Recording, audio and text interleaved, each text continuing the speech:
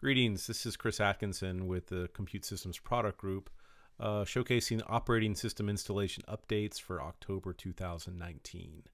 Uh, in this video, we're going to be showcasing our Windows installation, as well as an exciting new feature we call Cisco Validated Templates. It's going to help you uh, automate your process and, and kind of get you out of the business of having to really maintain um, your own custom uh, unattend or kickstart files. So the first thing we want to do is add the latest server configuration utility that's available on software.cisco.com.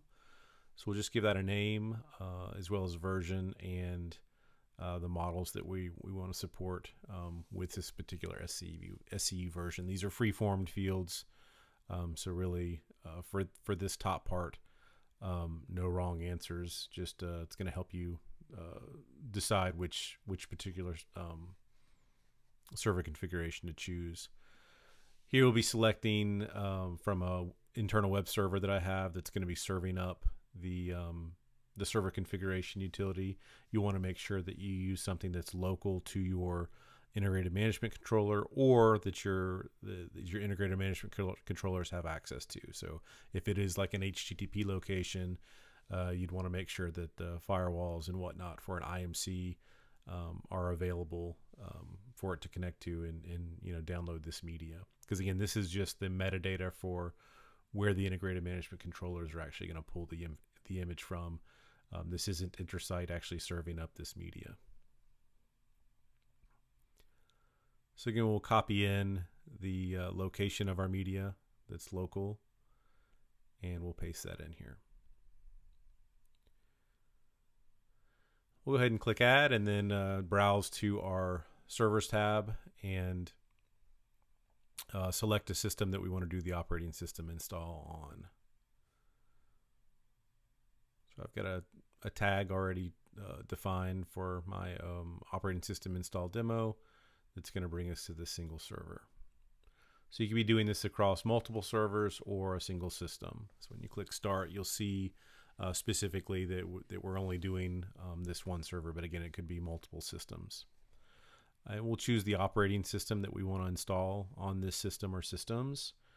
And since we're doing Windows, we'll have an additional box pop up to choose an edition. So most of the Windows ISOs now contain all the different editions. Um, so we're going to specify here what we want to use. You'll notice we've got a new tab, the Cisco tab, and that's where we have a predefined configuration template for the operating system that's been in, that's been uh, selected. And you'll notice through throughout the uh, the unattend file here that we've we've pre-installed um, through our Cisco templates. Uh, we've we've got some answers that um, that we'll be asking of the uh, configuration set. So I'll close that out and then drop down here what these actually um, you know relay to. So essentially the we can choose a static or a DHCP config from our from our existing template, and then just populate those uh, that data, um, and that's what the the system will use. If we had multiple servers, we would obviously uh, have multiple configurations to set with different um, host names, passwords, and product keys. So we'll paste in our product key, select next and now we're just going to select the server configuration utility that we want to utilize um, to, to help facilitate the bootstrapping of the operating system. You can see our details here of what we're going to be doing and then click install. Now while that's uh, kicking off, one thing to note for, for the, uh, the templates uh, is not just for the answer. The answers are not just for uh, the Cisco validated templates. You can also use them in your existing custom um, uh, configuration file. So if you've if you've done this before in the tech preview, uh, you've probably uploaded a Kickstart file. Um, if you're doing a VMware in installation, for example, and inside that Kickstart file, you've got specified, um, you know, static values of IP address and host names and whatnot. So you can now replace those with uh, basically variables that allow you to um, to kind of make those decisions at runtime. So uh, if you were to choose a custom Kickstart or a custom unattend file, um, you could then specify your own um, answers uh, to provide to the system. So if you want to do additional things like configuring multiple NICs or um, go ahead and configuring uh, your switching um, for a, a, soft switch or something in, inside a hypervisor, you can do those things um, with additional answer files, or excuse me, different uh, additional answer variables that you embed into your Kickstart or your unattend files. So here you see the process running. This is obviously in a in a sped up mode, so it's just like 10 10x the speed, um, which you can expect. Uh, the process isn't um, uh, super fast in terms of, of delivery. I think this particular Windows installation, due the due to the size of the media, um, takes about an hour to complete. But it's uh, you know 100% hands off at this point. It's just running through, doing its thing.